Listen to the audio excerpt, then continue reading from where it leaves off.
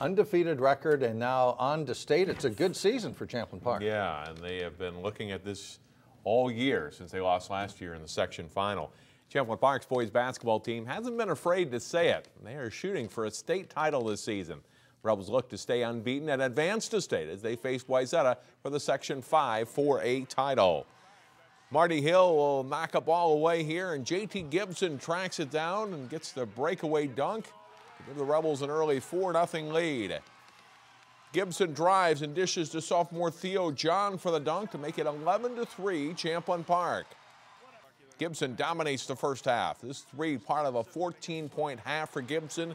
It's Champlin Park rolls to a big lead. Wayzata goes nearly 10 minutes before scoring a field goal. Troy Lawaji gets the hoop. McKinley Wright coming back from an ankle injury, but he plays well this night, and it's 26 12 Rebels.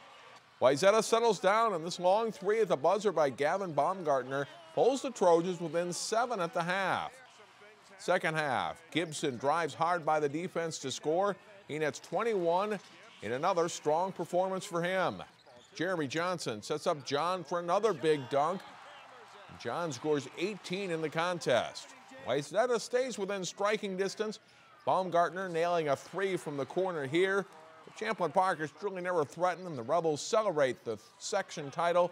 Their third in school history with a 76 63 win. We'll have more on them coming up Tuesday starting at 4.